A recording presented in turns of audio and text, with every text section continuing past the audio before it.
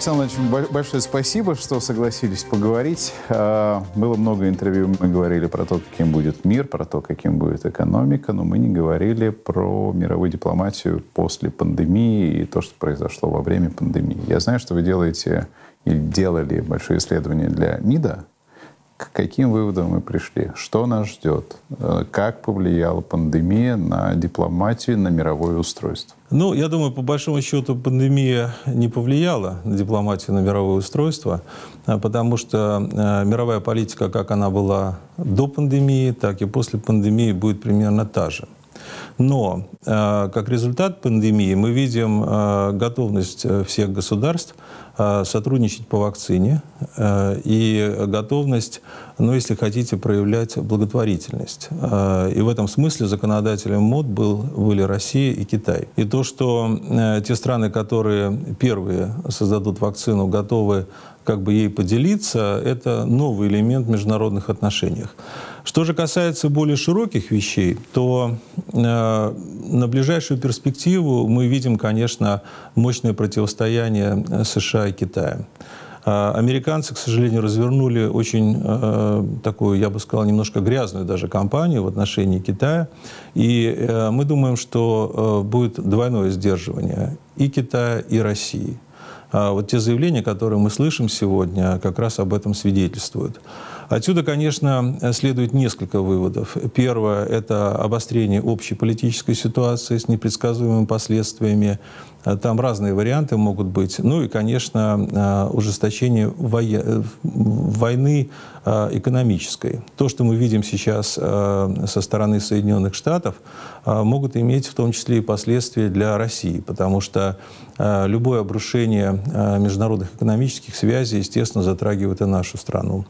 Так что это как бы первый элемент. Угу. Второй элемент – это то, что э, Соединенные Штаты будут э, так или иначе э, разваливать систему э, э, мироустройства в том виде, как она сложилась после 1945 года. И в том числе, которую они сами и складывали. Да, они сами складывали, они в то время были заинтересованы, но если сейчас посмотреть на э, международные организации системы ООН, то они по существу перестали отвечать интересам Соединенных Штатов. Именно поэтому Трамп э, резко высказывается в отношении ВОЗ и говорит, грозит тем, что перестанет финансировать Всемирную организацию Да, но ведь э, американцы вышли из ЮНЕСКО, они вышли из ЮНИДа, они сокращают финансирование целого ряда других программ. Они пока еще не замахиваются на Совет Безопасности, но, опять же, э, на сегодняшний день Соединенные Штаты, как бы получается, противостоят всему миру, потому что все другие страны, они заинтересованы в том, чтобы существовала эта система. И, кстати, их ближайшие, э, ну, скажем так, союзники, европейцы, они ведь не поддерживают в этом отношении Соединенные Штаты. Поэтому атака на ВОЗ – это часть большой атаки, с одной стороны, на Китай – угу. а с другой стороны на систему международных организаций. А, а почему американцам понадобился слом мировой системы, к которой все привыкли? А дело в том, что а, эта система перестала отвечать интересам американским. Она перестала работать а, на их интересы. Самое главное, что они потеряли рычаги управления этими организациями. Потому что в свое время, мы помним, когда американцы платили 25% бюджетов организации, угу.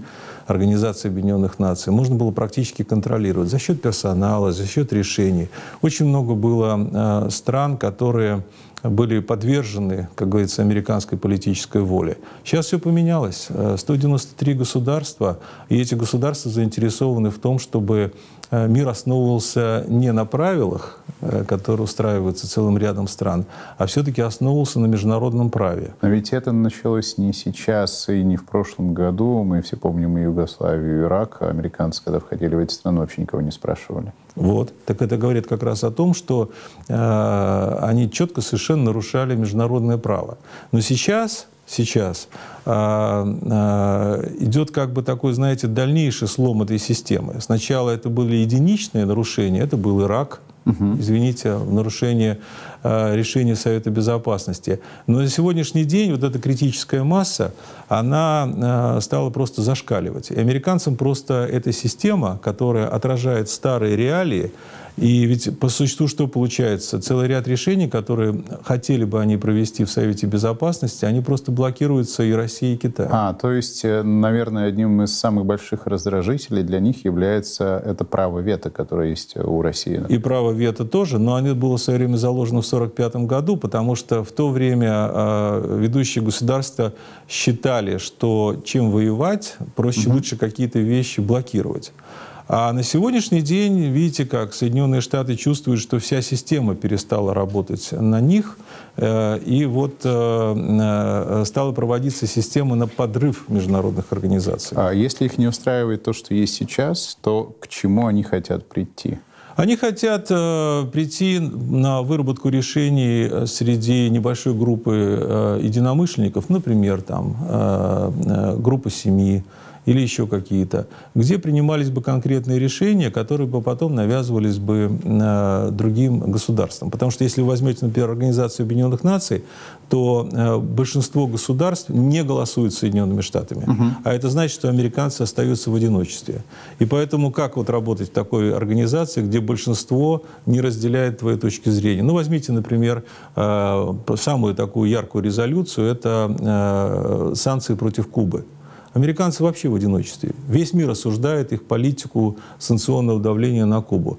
Поэтому, естественно, что формат э, для них далеко не выигрышный. Саммит G7 перенесли, скорее всего, он, по-моему, там осенью пройдет, да, где-то, и Россию туда Трамп позвал в качестве наблюдателя. Индию позвали в качестве наблюдателя. Можно ли говорить... Австралию, Корею. Да, что как раз вот это и прообраз той системы, которую хочет Вашингтон.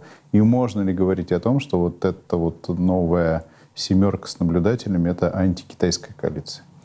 Ну, ясно, что Китай не позвали туда, поэтому можно сделать соответствующие выводы. Но я бы самый главный вывод сделал то, что то, о чем сами американцы говорили, что семерка как таковая потеряла свой, э, свое значение. Потому что все страны, которые э, были приглашены вот на эту э, так называемую G11, угу. это те страны, которые входят в двадцатку.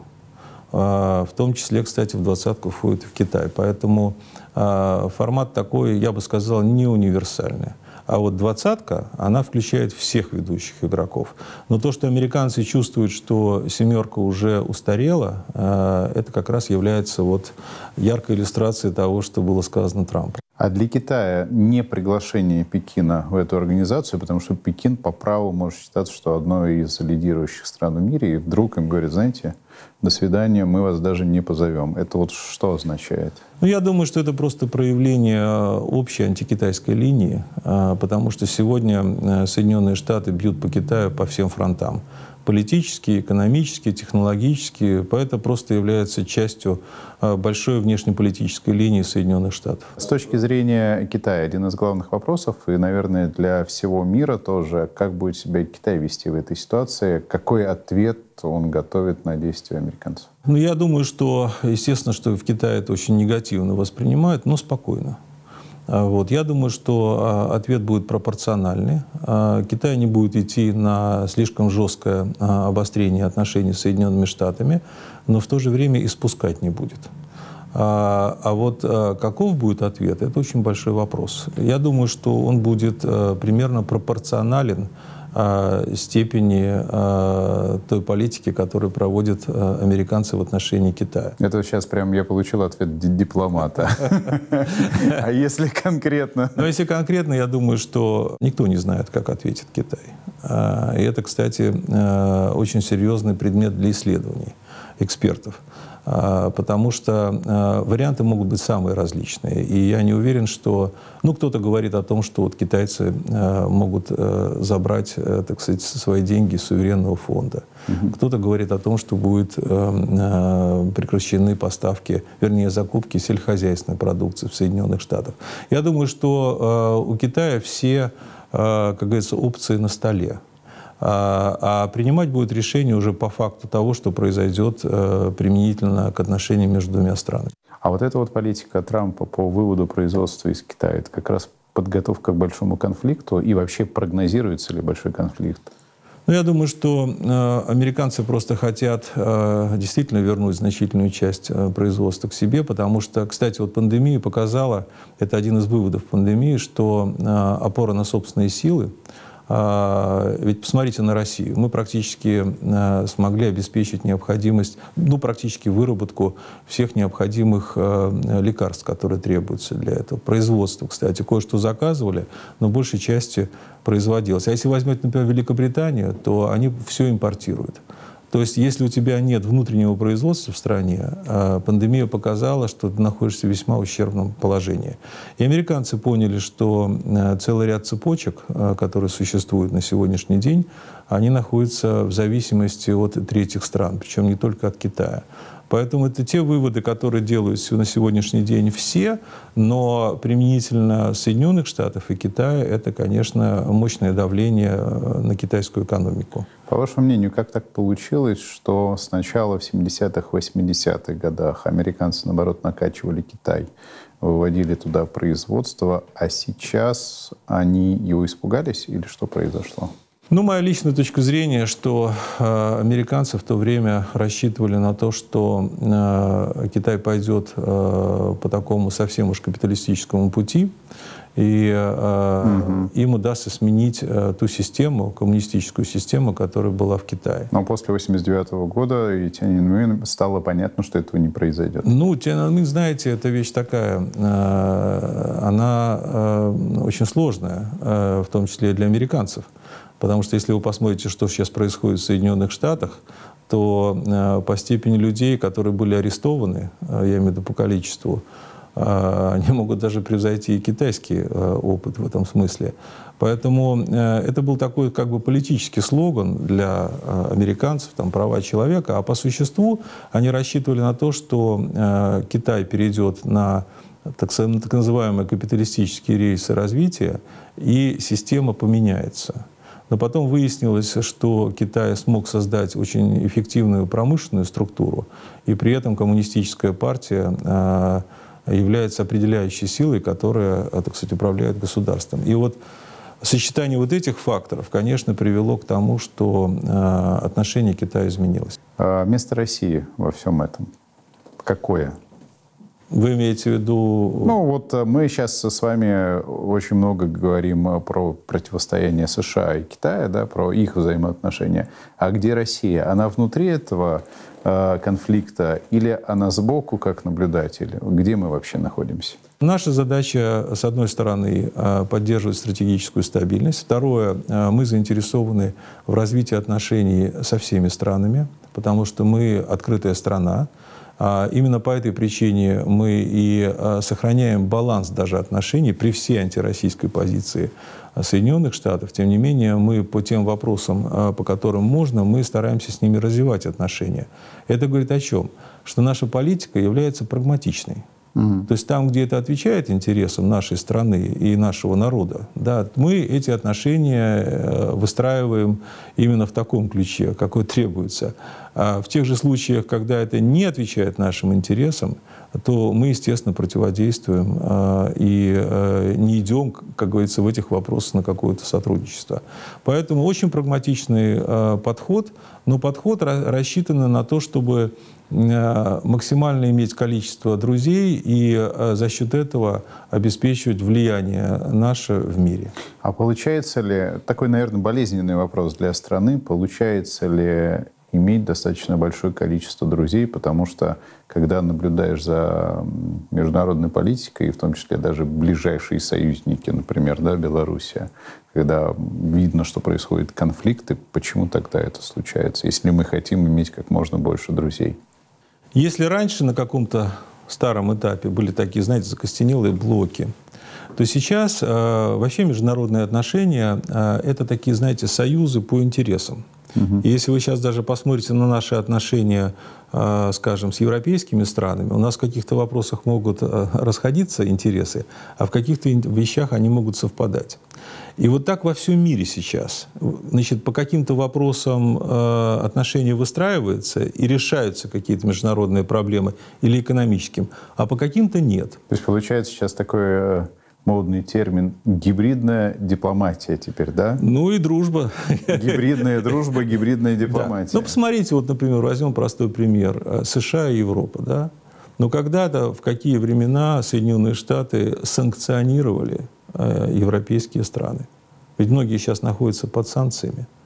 То угу. есть какие-то вещи запрещены. Есть угроза санкций. Вот тех же там французов обещают вино не покупать, там еще другие вещи. А сколько банков э, наказали за неправильное поведение на миллиарды? Причем это же их союзники.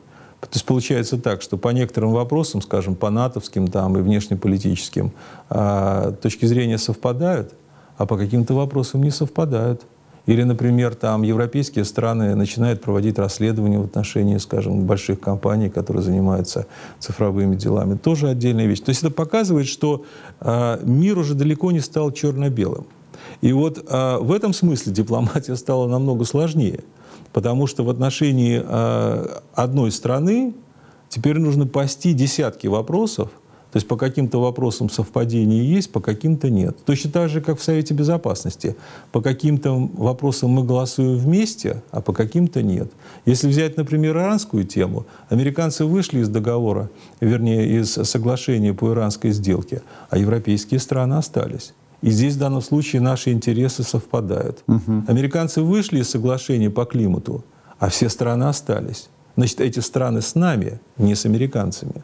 И даже внутри Евросоюза э, какие-то страны готовы э, идти на какие-то, так сказать, компромиссы с Соединенными Штатами, а какие-то не хотят идти. А вы э, были послом Великобритании. Ну, представляете, что происходит в Европе? Есть ощущение того, что Европа устала вот от такой роли Соединенных Штатов?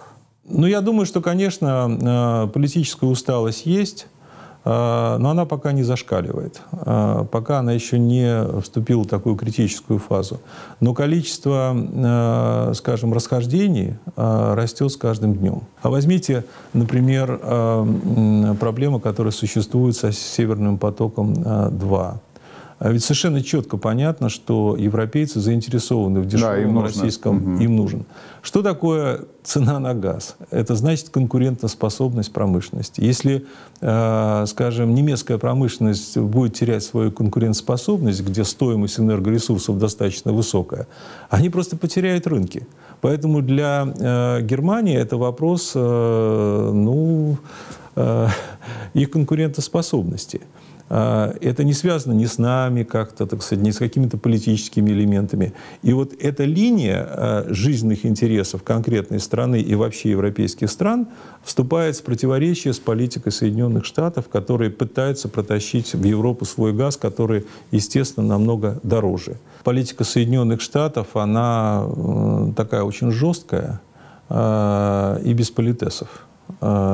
И Э, Соединенным Штатам, и сам лозунг Соединенных Штатов сделать э, Соединенные Штаты великими снова, э, говорит о чем? О том, что Соединенные Штаты в этой большой глобализационной игре стали терять конкурентные преимущества, а для того, чтобы их снова вернуть, необходим слом той системы, которая к этому привела. Угу. Поэтому, собственно говоря, опора на собственные силы, перевод производства, создание определенных национальных э, границ, протекционистские меры. Все это частью большой а, системы по выстраиванию, так сказать, новой, новой Америки, то есть более сильной. А делается это очень грубо за счет других. Беспорядки, которые сейчас э, вспыхнули в США, говорят, что такого не было с 1968 года, но и по масштабам, возможно, сейчас даже сильнее. Как вы оцениваете, что это такое, почему именно сейчас это происходит и почему это перекинулось и на Европу? Я думаю, что это просто рост напряжения э, в американском обществе, э, как следствие, э, в общем-то, расовой дискриминации. Все мы знаем, как выстраиваются отношения политика государства в отношении нас, меньшинств – собственно говоря, мы даже знаем, как ведут себя э, американские правоохранительные органы в отношении даже корреспондентов, причем не только наших, но и своих. А, свыше ста, по-моему, человек пострадало. Поэтому это, э, э, с одной стороны, политический разлом в обществе, а с другой стороны, это вопрос уже и культурного разлома. А то, что произошло с этим полицейским, это просто стало катализатором. Это было и раньше. Просто на сегодня напряжение в обществе настолько велико, что образовалась такая гремучая смесь. А что касается других стран, то в основном это происходит в тех странах, где э, есть свое напряжение. Ну, в частности, во Франции. Мы знаем, сколько было э, сложных моментов, связанных с нас меньшинством. Угу. А, поэтому, собственно, и реакция своя была. Но применительно к Соединенным Штатам это, конечно, а, очень серьезный звонок для политической элиты, потому что долгие годы ничего не делалось для того, чтобы а, систему действительно демократизировать. И вот эти все расовые скажем так, э, и предрассудки, и такая, я бы сказал, неприязнь э, определенных элементов демократической политики, она сыграла свою роль. Но для американцев это, конечно, очень серьезная дискредитация власти, потому что, естественно, полиция, она ассоциируется э, с властью, а это значит, что у людей будет соответствующее настроение. И жесткое решение, которое сейчас пытаются найти в Соединенные Штаты, они, конечно, особенно в предвыборный, в предвыборный период, он очень такой достаточно есть такое хорошее русское слово «стрёмный». Угу. Вот, поэтому э, это часть больших внутренних процессов. Э, это говорит о том, что система э, внутреннего государственного устройства э, далека от демократических принципов. Э, и это значит, что конфликтный потенциал в обществе очень высокий. А можно ли говорить о том, что и Америка, и Европа устали от иммигрантов? И это тоже как бы провоцирует такие конфликты? Вообще проблема мигрантов, она такая очень непростая, потому что, с одной стороны, конечно, требуется рабочая сила, и мы это видим на примере Германии, когда были приняты соответствующие угу. решения, и, в общем-то, эта рабочая сила приветствуется. Если вы сейчас возьмете Великобританию, там сейчас э, э, приветствуют восточноевропейцев, в том числе и в плане работы на сельскохозяйственных э, угодьях. Э, но, с другой стороны, э, мы достаточно давно нашим европейским э, коллегам и, э, собственно, ряд другим э, представителям других стран говорили, что вот все, что сейчас происходит на Ближнем Востоке, и вот те массы, которые пришли в движение, они в конечном счете нанесут очень серьезный ущерб балансу в европейских странах, в том числе этническому балансу. И что получилось? А когда, так сказать, наши э, западные, так сказать, э, коллеги разнесли Ближний Восток практически весь, они, во-первых, убрали рынок полностью, угу. они убили экономику региона, а естественно, что образовалось большое количество голодных людей, а, которые, естественно, ищут э, новое место для жительства. А, и вот эта проблема, с которой сейчас столкнулись все а, а, европейские страны, и именно от этой проблемы устали европейцы, потому что они как раз не могут ничего предложить вот этим обездоленным людям, у которых нет будущего. В полной мере удовлетворить они их не могут – но в то же время они не проводят правильную политику на Ближнем Востоке mm-hmm. с тем, чтобы урегулировать конфликты в той же Сирии. И в отношении Сирии там вводятся новые санкции. Вместо того, чтобы э, людей привлечь обратно в Сирию, создать необходимые условия, они предпочитают, так сказать, финансировать лагеря беженцев. И, и здесь как раз вопрос. При этом э, американцы говорят, русские уходите из Ближнего Востока, а русские в той же Сирии как раз этот порядок и нормальную жизнь пытаются возобновить. Ну, это вот как раз, э, э, как кто-то из экспертов сказал, э, уровень политической подготовки политиков, потому что, ну как может Россия уйти из Ближнего Востока? Россия посредник на Ближнем Востоке. Россия стабилизировала ситуацию во многих странах. И на Ближнем Востоке на Россию смотрят совершенно по-другому. Мы э, в начале интервью говорили об инициативе Трампа G7 и наблюдатели, но президент России Владимир Путин выступил с другой инициативой, это G5 так называемая. В чем разница двух подходов? Ну, это совершенно разные вещи с моей точки зрения. Потому что, э, ну, во-первых, для нас 75 лет Организации Объединенных Наций. По-прежнему постоянные члены Совета Безопасности, когда они едины, они могут проводить очень серьезные решения, которые сплачивают мир, помогают решать конфликты. И, как я понимаю, наш президент э, считает своевременным э, провести очень широкий разговор, можно сказать, почти как в 1945 году, угу. о том, э, как должен выстраиваться мир. Потому что сегодня есть большое количество глобальных проблем, э, с которыми не могут справиться э, ни одно государство, даже самое сильное. С другой стороны, э, те проблемы, которые мы ощущаем сегодня в разных регионах, они, конечно, мешают жить всем. И самое главное, что мы просто видим, как начинает заваливаться, так сказать, тот миропорядок, который создавался в 1945 году. Поэтому вот такой серьезный, открытый разговор между странами, которые по-прежнему играют, а, как постоянные члены Совета Безопасности, ведущую роль в мире а, за счет своего влияния, кто-то, так сказать, политического, кто-то экономического, вот. Такой разговор очень нужен. И вот сейчас как раз идет, э, как недавно заявил Сергей Викторович Лавров, идет э, согласование того, что будет обсуждаться. Пока это не раскрывается, но я думаю, что э, если такая встреча состоится, я надеюсь, что она состоится, потому что все дали на это согласие, э, это будет очень серьезный, большой разговор э, о будущем мира. Если говорить про компетентность, то раньше был железный занавес, он был идеологический. Сейчас на вот эти вот месяцы железный занавес повесил коронавирус, да? Можно ли говорить о том, что новая дипломатия это будет такая зумная или скайпная дипломатия? Вот честно, я думаю, что э, она все-таки будет гибридная. Э, потому что, с одной стороны, я полностью разделяю э, мнение своего министра о том, что личный контакт личные переговоры, да даже по интервью мы вот видим, что ну, не получается разговор, угу. когда это все на расстоянии. Поэтому без личного присутствия а, теряется, ну, так сказать, вот какая-то такая, знаете, очень важная составляющая. А потом есть такая, такие аспекты, как конфиденциальность. А, есть некоторые вещи, которые ну, просто невозможно через телевизор получить. Это первое. Но, с другой стороны, э, объем политических контактов сейчас настолько велик, что определенные элементы, э, вот с учетом того опыта, который мы сейчас получили, они все-таки э, будут востребованы. И какие-то, может быть, второстепенные вещи, которые могут показаться второстепенными с точки зрения и участия на самом высоком уровне, они, конечно, будут применяться. Так что я вижу, естественно, некоторый рост э, вот этого дистанционного компонента, но не до такой степени, чтобы он изменил международные отношения. Отсюда следующий вопрос, он более прикладной.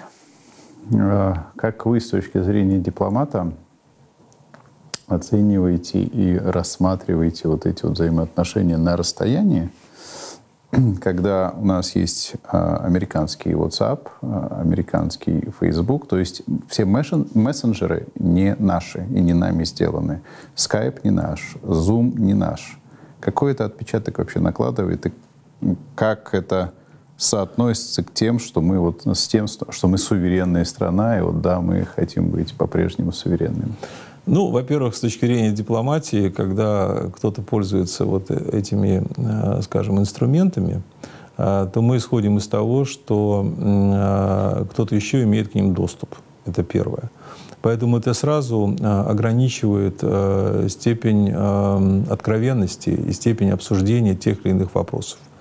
Потому что мы можем довериться только тем системам, которые являются по-настоящему а, закрытыми. Угу. Или, в частности, могут обеспечить а, ну, конфиденциальность с точки зрения наших интересов. Поэтому, если говорить, это, кстати, в широком плане, если говорить о высшем уровне или там, скажем, на уровне более низком, то естественно, что такая конфиденциальность как бы обеспечивается в двустороннем плане. Но это абсолютно не гарантировано для всех, кто пользуется этими вещами. Но здесь же еще и проблема даже в том, что какой телефон не возьми, а операционная система, которая там стоит, тоже не наша. Ну вот видите, как американцы говорят, что они же не хотят пользоваться китайскими системами. Да. Да? Это говорит о том, что э, все эти системы дырявые и что они все уязвимые. Я думаю, что э, на ближайшие там, 10-15 лет э, американская монополия э, с точки зрения систем уйдет, потому что все страны постепенно будут подтягиваться технологически, и у нас у всех появятся э, некие такие другие опции – хотелось бы, чтобы наша страна э, и наши компании, частные компании в том числе, активно в этом деле поучаствовали. Когда работали в Лондоне, вы задавались ли вопросом и отвечали ли на него? Вот понятно, когда было противостояние между Советским Союзом, соцлагерем и Западной Европой и Америкой, это была идеология. Потом и экономика. Потом идеология ушла советская, она разрушилась, экономика фактически стала точно такой же, как на Западе, да, это капитализм, это свободный рынок и так далее. А противостояние осталось. По крайней мере, с их стороны. Мы же не говорим о том, что мы хотим, там, чтобы разруш... Э, разрушить США. А у них были эти заявления, Олбрайт говорил в свое время, давайте 30 миллионов оставим вот на этой территории, и все. И будет хорошо, да. Почему это осталось? Моя личная точка зрения, э, я задумывался, кстати, очень часто, потому что отношения с Великобританией исторически были очень э, сложные, и, э, пожалуй, единственным светлым пятном это была Вторая мировая война, когда мы, так сказать, были вместе. Угу. А после этого была Фултоновская речь, да. после этого была НАТО и ну, все, что с этим связано. Я думаю, что это вопрос глобальной конкуренции, потому что еще даже до революции, в общем-то, англичане проводили такую достаточно э, непростую линию в отношении России, были замешаны во многих э, нелицеприятных вещах, применительно в том числе и к российским царям. Поэтому я думаю, что это просто э, признание силы России, признание ее роли глобального игрока. А в британской дипломатии всегда присутствовал и в политике поддерживать слабого и работать против сильного. Угу. Вот исторически получалось так, что Россия была всегда глобальным сильным игроком, а, а значит, э, э, британская э, внешняя политика на протяжении столетий работала на ослабление. А, а то, что, как мы видели, как это делалось, это уже дело техники. Главное, что эта линия выстраивалась чисто стратегически. Поэтому, когда была холодная война, эта работа была на ослабление Советского Союза. А сейчас э, мы тоже видим, э, Британия участвует активно в санкционных режимах. Это тоже работа э, на сдерживание России. И то, что были последние заявления Бориса Джонсона о том, что э, России не место, так сказать, там, и там, и там, и там, это является всего лишь продолжением э, общей линии э, на сдерживание. А там многие политики вообще разделяют э, в Британии это мнение?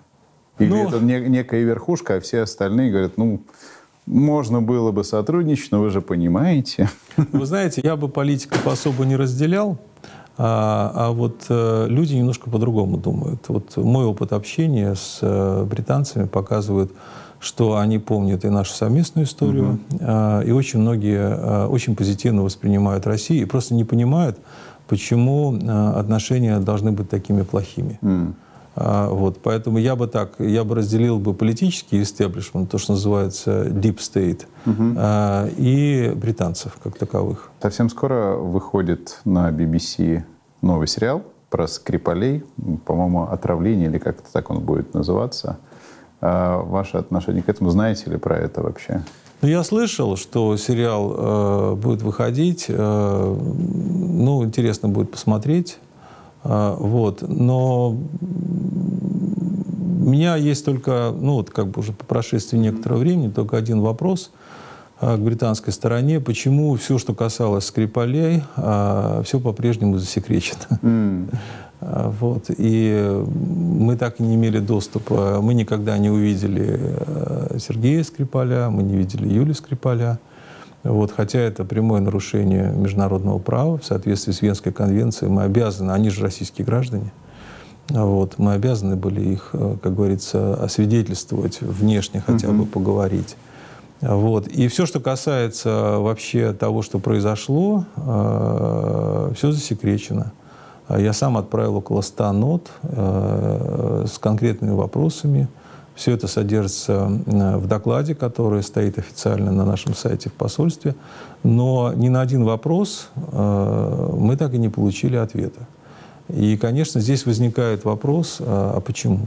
То есть с точки зрения дипломатии это, наверное, нонсенс или так себя не ведут? Да или это ведут? просто вообще с любой точки зрения, если э, существовала такая проблема, э, в частности, вот, э, то в отношении чего сейчас собирается даже спектакль строить, значит, то нужно как-то хотя бы дать возможность э, нам получить ответы на те вопросы, которые мы поставили. А, но ведь ни на один вопрос ничего не, мы не получили, а все публикации были в основном по источникам. То есть вот ссылка на какие-то источники из властных структур, и э, вся информация шла в основном через газеты.